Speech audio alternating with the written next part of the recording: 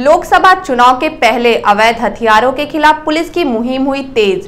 तीन रिवाल्वर सहित कारतूस व तीन लोगों को पुलिस ने किया गिरफ़्तार।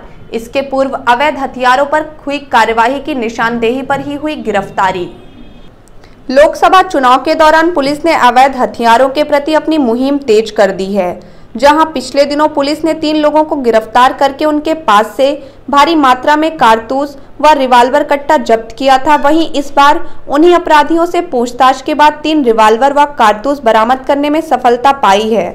हम आपको बता दें, रीवा के अजगरहा मजिया रोड पर ढाबे के पास दो युवकों को पकड़ा गया।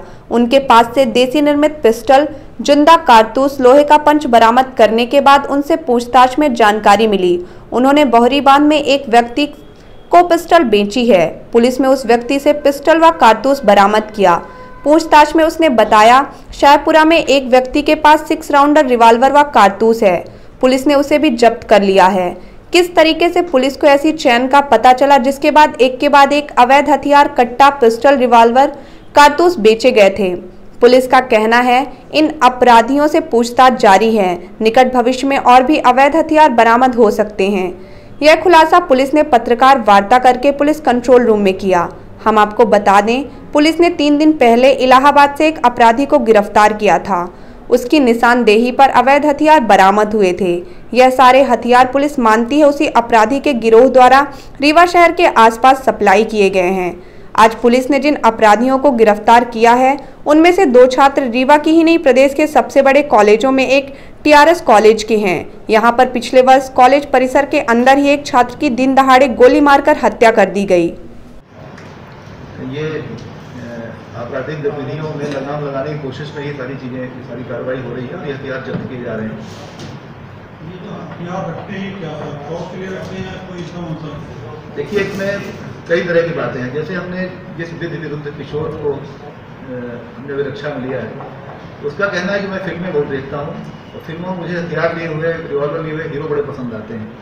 तो मैंने केवल शौक के लिए अपने आप को हीरो जैसा दिखने के लिए मैंने जो रिवॉल्वर खरीदी थी। तो एक कारण तो ये भी हो सकता है।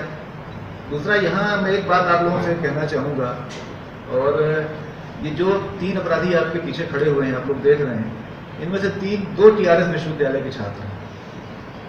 तो इसमें से एक आपका गौरव भी टीआरएस कॉलेज में पढ़ता है मेरे ख्याल से बीकॉम सेकेंड ईयर पढ़ता है। और एक शिवम पांडे भी टीआरएस का छात्र है।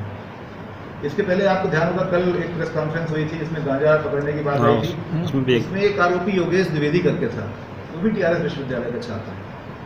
तो मुझे लगता है कि युवाओं में छात्रों में कुछ हथियार रखने का शौक ज़्यादा है और इनकी आपसी बुराइयाँ भी हैं झगड़े भी हैं तो अपने बचाव में भी और हमला करने के लिए भी लोग हथियार रखते हैं।